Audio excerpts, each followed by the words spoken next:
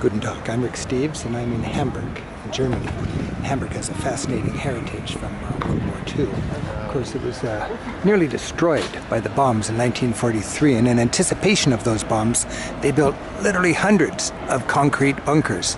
This is the biggest. 50,000 people could take refuge here. They had gunners hoping to shoot down Allied bombers.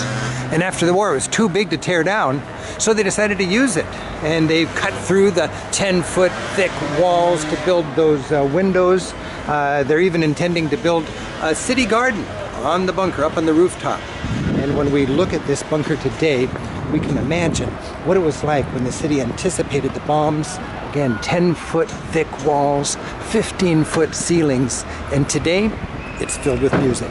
You've got recording studios, you've got concert halls, you've got pubs, you've got discos, and when you step inside, you can feel a little bit, you can gain an appreciation of the flat out sturdiness of this place as Germany scrambled to save itself in anticipation of the Allied bombs.